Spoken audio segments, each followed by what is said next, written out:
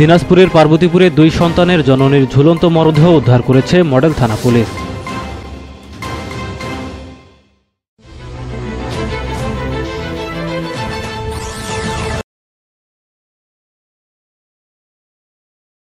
আসসালামু আলাইকুম।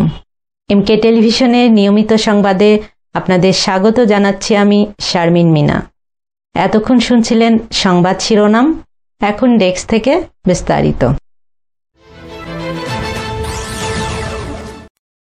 দিনাজপুরের পার্বতীপুরে দুই সন্তানের জননী এক গৃহবধূর ঝুলন্ত মরদেহ উদ্ধার করেছে মডেল থানা পুলিশ। জানা গেছে, বিয়াল্লিশ বছর বয়সী নিহত হোসনেয়ারা উপজেলার চণ্ডীপুর ইউনিয়নের বিশকাঠালী হরিপুর হঠাৎপাড়া গ্রামের আজিম আলীর স্ত্রী। ষোলো আগস্ট বুধবার সকাল নয়টায় হোসনেয়ারার স্বামীর বাড়ি হরিপুর হঠাৎপাড়া থেকে তার ঝুলন্ত মরদেহ উদ্ধার করে মডেল থানা পুলিশ। নিহত পার্বতীপুর উপজেলার পাঁচ নং চণ্ডীপুর ইউনিয়নের হরিপুর হঠাৎপাড়া গ্রামের তার স্বামীর বাড়ি থেকে উদ্ধার করে পার্বতীপুর মডেল থানা পুলিশ। পরে পুলিশ মরদেহর সুরথাল রিপোর্ট তৈরি করে ময়না তদন্তের জন্য Dinajpur M Abdur Rahim medical college হাসপাতালের মর্গে প্রেরণ করে। হোসনেয়ারার ভাই বোনদের দাবি পঞ্চাশ বছর বয়সী মদ্যপায়ী স্বামী আজিম আলী তাদের বোনকে মেরে ফেলে ঘরের ভিতরে গলায় রশি দিয়ে ঝুলিয়ে রেখেছে বলে তারা জানান। এটা হত্যাকাণ্ড নাকি আত্মহত্যা? এর প্রকৃত ঘটনা জানা যাবে ময়না তদন্তের পর। পার্বতীপুর মডেল থানা ইন্সপেক্টর তদন্ত হাফিজ মোহাম্মদ রায়হান জানান ময়না তদন্ত রিপোর্ট আসার পর প্রয়োজনীয় আইনগত ব্যবস্থা নেওয়া হবে। এ বিষয়ে থানায় একটি অস্বাভাবিক মৃত্যুর মামলা হয়েছে। আপনি কে হন? বড় বোন হই দুই নম্বর বোন হই আমি। আর তিন নম্বর বোন। ওনার নাম কি? ওর নাম শাহের রানী। না না। বোনটির নাম হোসনে আরা। হোসনে আরা। কি কীভাবে এই ঘটনাটা ঘটে বলেন তো? এক হাজার টাকা চাচ্ছে তিন দিন থাকি। পরশু দিনে আমি আলছিলাম। কে যাচ্ছে? ওই নিশাখর স্বামী। কছে বোন মুই মুই ছয় মাসে তাকে খোরাক পোশাক দেয় নাই টাকা এক হাজার মুই কুতি পাও। মুই কষ্ট করে এনে চাল করে থুসু ভত্তা ভাত করো ছয় আসে এসে খায়া খায়া যাও চার টাকা তো মোর সাথে খালি মারামারি ডাঙ্গি সব সময় টাকা দেয় না ঢাকা দেয় পঞ্চাশ হাজার পঞ্চাশ হাজার টাকা। মানুষ ওখানে খিলেওছে বুলু আর বইনের বেটা আঁকছে মুখ ওইলা খিলেওছে আর হয়।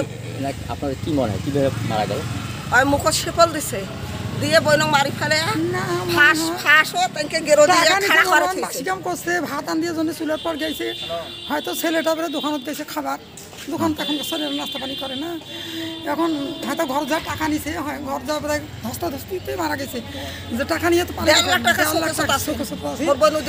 নিছে হয়তো স্বামীর সাথে কাড়াকাড়ি করছে। সার বাইনু কছে বোন মুই ওদিনকে যা তোর টাকা থুই আসি। কাড়াকাড়ি করছে টাকার জন্য হয়তো কোনো আঠাই নাকছে না গিয়ে মারা গেছে। তখন ফাঁসত তুলে দিছে। ওই মুখ ফাঁসতে চেপে ধরছে, দাঁড়িয়ে আছে। বালিশ দিয়ে ঠাসি ধরছে ফাঁসত দাঁড়িয়ে আছে মাথাটাও আর গাত গাত কোনো মারা নাই আর দেড় লাখ টাকা শোকেছে আছে। টাকা বেলি গেছে শোকেছে বোন মুই টাকা বের কেনা পাও গাঞ্জা খরতনে টাকা বের কেনা পাও পরশু দিনে যা তোর বোন টাকা আপনাদের অভিযোগ মারে ফেলা হয়েছে নাকি? হ্যাঁ ফেলাইছে। কোদাল দিয়ে পাওয়া মেলা বছর। মিশি মিশি যাচ্ছে। ওই যে ইয়ে দোকানগুলো আছে ফার্নিচারের দোকানগুলো অত দূর আমার বাবার বাড়ি। গ্রামের মানুষ সবাই কোদাল আর আমার বাপের বাড়ি কোদাল ধরি কোরআন শরীফ পড়ে নামাজ পড়ে উজা থাকে এখন তো নামাজ কারি করে না। আর সেই বোন ফাঁসটা গিবে। আর বাবা হয়ে গেছে সর সর কথা খাবার আমার নাম মোহাম্মদ মঞ্জুরুল আলম। আমার বোনের বিয়ে হয়েছিল আমরা ছোট যখন মনে করেন ফাইভ পায়েস নাইকোতে আমার বোনের বিয়ে হয়েছিল। তারপরে ও বিয়ের পর থেকে ওই মারাডাঙ্গা কাঁদিয়ে ঝগড়ার কর- কারণে আমার আব্বা ছাড়ি নিছিল। ছাড়ি নেওয়ার পরে আবারও ও নিছে। সম্পর্ক করে। তারপরে দুইটা বাচ্চা হয়েছে বাচ্চাগুলো কষ্ট করে বড় করল আমার বোন। কিন্তু ওই জুয়া খেলায় নেশা করে এটা ওটা করে। তারপরে আমার বোন আমরা পাড়াতে দুই ভাই আছি। যথেষ্ট ইয়া করি। ভগ্নিপতির নাম কি? আজিম আলী। মারা যাওয়াটা কি কি মনে মারা যাওয়াটা মারি ফেলাইছে আমরা মনে করি। যেহেতু ওনার ছেলে সকালবেলা কালকে রাতে কাজে হয়েছে। আমার সকালবেলা ওর বোন ছেলে দোকানে পরে গেছে বুটমুড়ি খাওয়ার জন্য। তারপরে আমি ওর ছেলেকে দেখলাম। আমি জমি বাড়িতে ঘাস পুকুরিতে গেছি। ওখানে যা আমাকে মানুষ বলল যে, তোর বোন মারা গেছে ফাঁস দিয়ে। তার মানে বিশ্বাস করিনি। বাড়ির কাছে এসে দেখছি মানুষ যখন কান্দে তখন দেখতেছি সাথায় তো মারা গেছে। আসি দেখি তো ঝুলিয়ে আছে, কিন্তু পা গিলা মাটিতে লাগায় আছে। জিবাও বাইর হয় না কোনো হয় না মানে স্বাভাবিকভাবে। মানে সকালবেলা আমাকে ঘুম থেকে ডাকায় দিছে, বই পড়ার জন্য। আমি বই পড়তেছি। এবং বই পড়ার পর আমি দোকান গেছি খাইতে। আমার মা তখন বাইরে শান্তা শান্তি করতেছে। আচ্ছা। আমি দোকান থেকে মানে যখন আসতেছি তখন আমার বাবাকে মানে ওই গ্রামে যাইতে দেখলাম। মানে আরেক গ্রাম যাইতে দেখলাম। আচ্ছা। এবং এসে আমি বই পড়তে যাই আমি ওই ঘরে যাইনি ওই ঘরে এখন পর বই পড়া শেষ করে ওই ঘরে যাই দেখতেছি যে এরকম অবস্থা। কি দেখলা তোমার ঘরে গিয়ে তোমার মার ঘরে গিয়ে? আমার মা দড়িতে রশিতে ঝুলে আছে। ঝুলে ছিল বা পা কি শূন্য ছিল না লাগা ছিল মাটির সঙ্গে? লাগা মাটিতে লাগাইছিল মাটিতে লাগা ছিল। তো এটাকে তুমি কি মনে করতেছো? এটা কি আত্মহত্যা না হত্যা? এখন মানে আত্মহত্যার কোনো কারণ আছে তোমার মার? না আত্মহত্যার কোনো কারণ ছিল না। তাহলে কি এটা হত্যাকাণ্ড বলব আমরা? হ্যাঁ অবশ্যই। এটি হত্যাকাণ্ড। তুমি কি এটা বিচার চাও? হ্যাঁ যদি বিচার তো চাবো অবশ্যই। এই যে এই ঘটনার এই ঘটনা